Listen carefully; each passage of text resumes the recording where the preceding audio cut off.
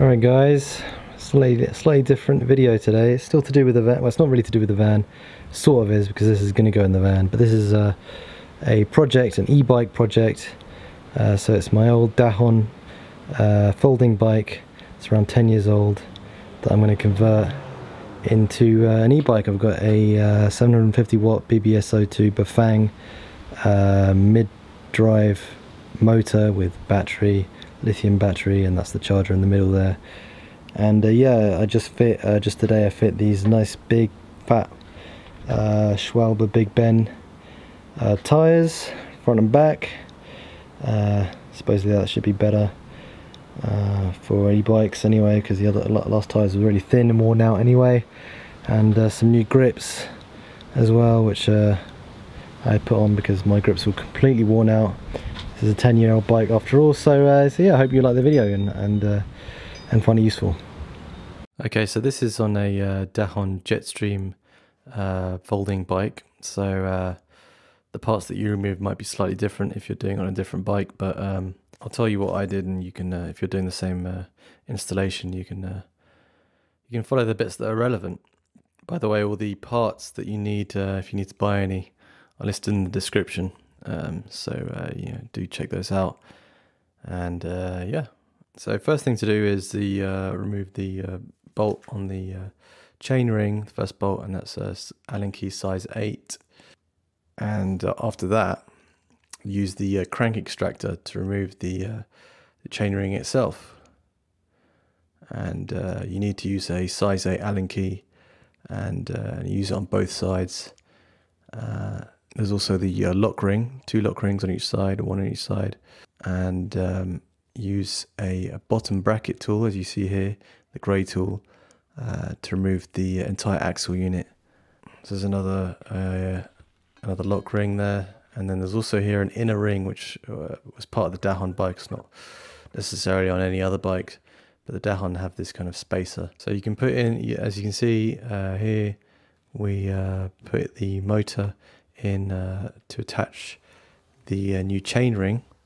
Uh, we actually removed the thing after after putting the chain ring on, but here you can see it's five bolts uh, that you put in, and a size five Allen key. The bolts obviously come with the kit, and we removed the motor straight away after. I mean the bike was on a stand uh, to make it easier to work on, um, but uh, we removed the bolts, the entire motor unit, to attach the plastic cover of the chain ring uh, because uh, you have to um, attach it with uh, screws on the back, which you can't, you know, reach when it's actually on the bike itself.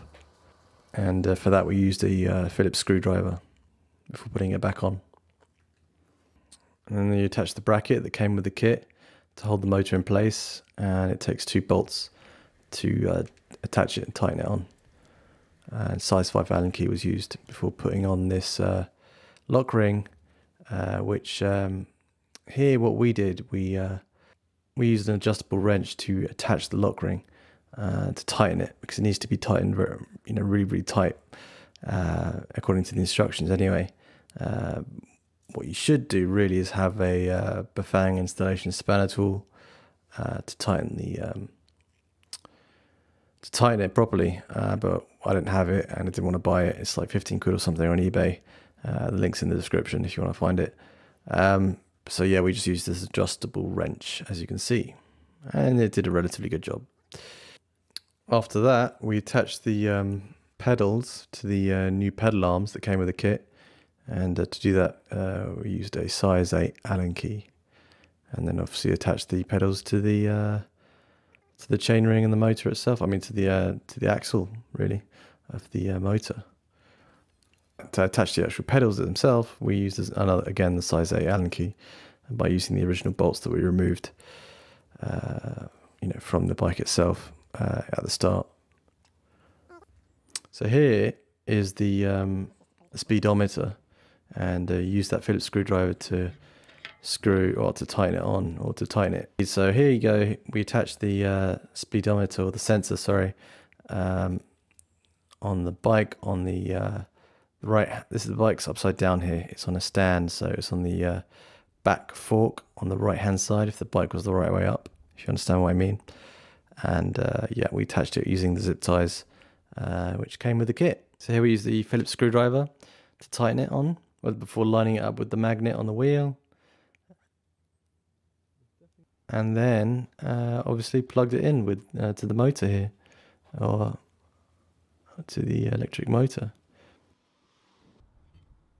So here, uh, because the uh, bike, uh, the original bike had a 52 uh, tooth chainring, uh, and the uh, motor came with a 44 tooth chainring. Obviously, we had to remove some chain links, and we used the chain link remover.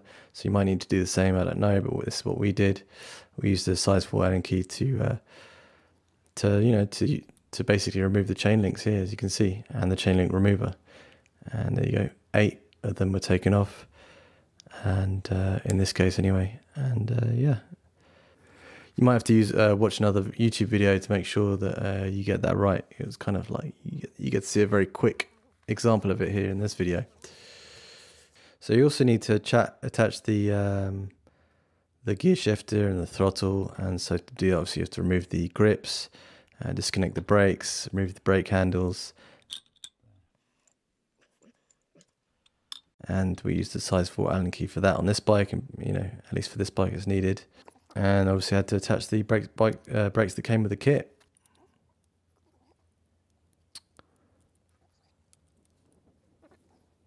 And the computer goes in the middle of the hand, handlebar and uh, to tighten that up it's a size 3 Allen key So uh, to begin with, actually got the gear shifter and the throttle on the wrong side. The gear shifter has to go on the left-hand side for your left hand and uh, the throttle on the right. And a size 4 Allen key, I think, uh, for the uh, uh, for the uh, brakes that came with the kit.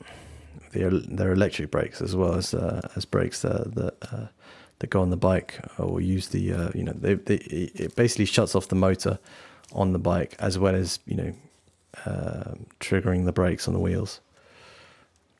And by the way, if you're interested, uh, these grips are very nice. Uh, they're er Ergon GS1 uh, handlebar grips, uh, with the right hand side having a short version of the grip because there's also the gear shifters, uh, the the mechanical gear shifters that go on the bike. the electronic, electronic gear shifters are something entirely different. They're for the motor. Um, but yeah, so uh, right hand uh, side uh, side for for me has to had to have a uh, a short uh, hand grip, and to attach the uh, gear shifter, it's a size two Allen key, and obviously the throttle goes on, and that's with a size two Allen key.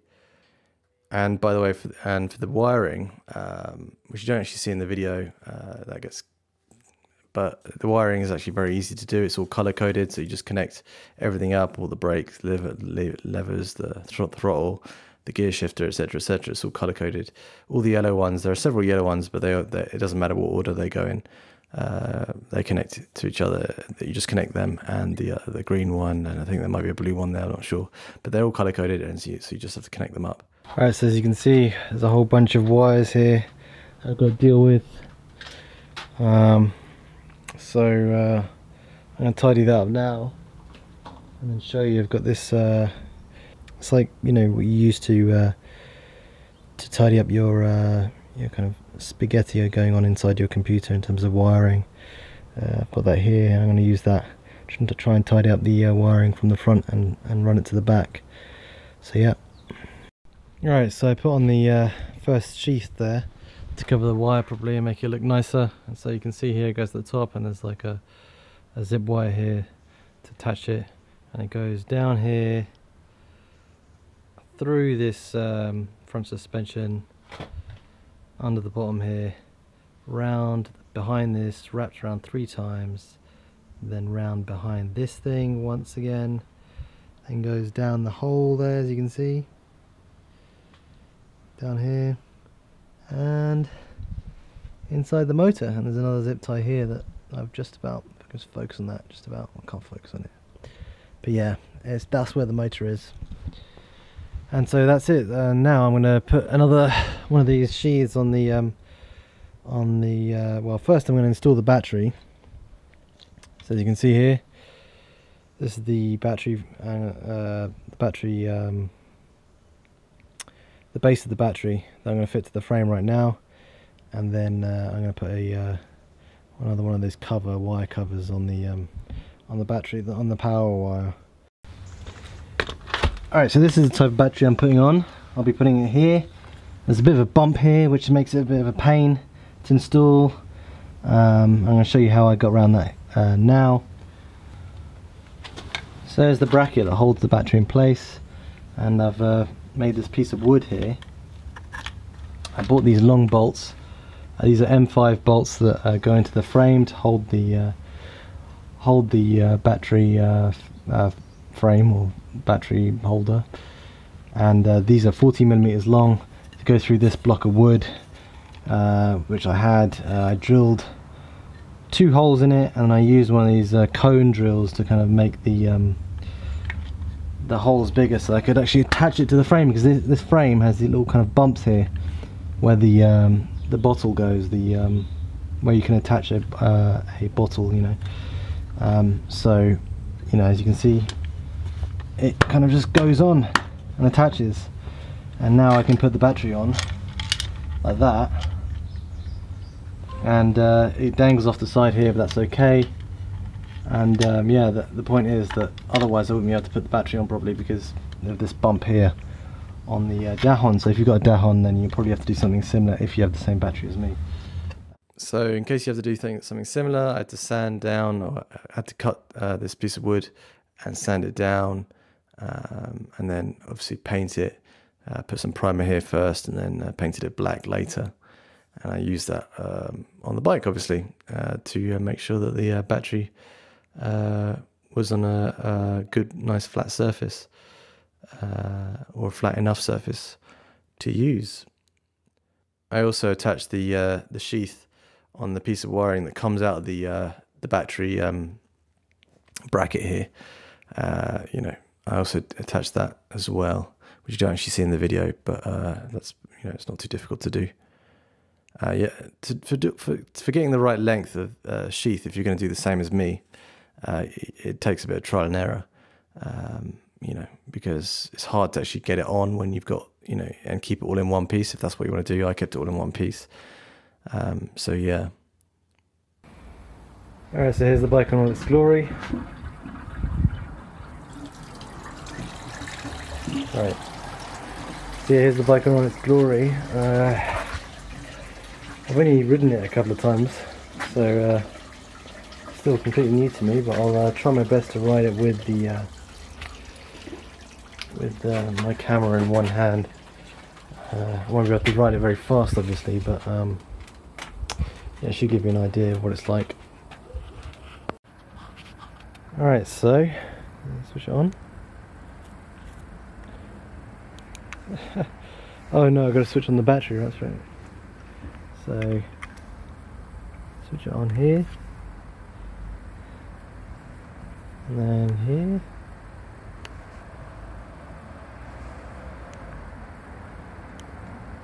There you go. And uh, yeah, I'm gonna have to do this one-handed now. It's on the first gear, so shouldn't be too difficult.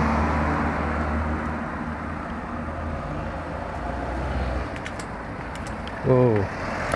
It, it, kind of goes off by itself. It's got pedal assist on. I haven't changed any modes. So if I, yep, as you can see.